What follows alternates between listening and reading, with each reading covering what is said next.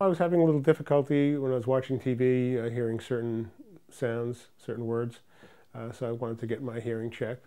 So I came in to meet with Melissa, and she went over everything with me, uh, explained what she was going to be doing, um, so it's very knowledgeable. Went through a whole series of tests. After she ran her tests, she explained what she did and what she found and ex explained it in great detail. A lot of times hearing loss, from what I understand, can be very gradual.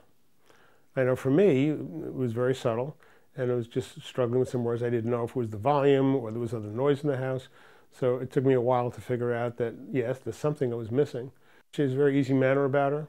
She's very knowledgeable, explains things in simple language, uh, leaves room for me to ask questions so that if I don't understand anything, I can further um, inquire to get more information.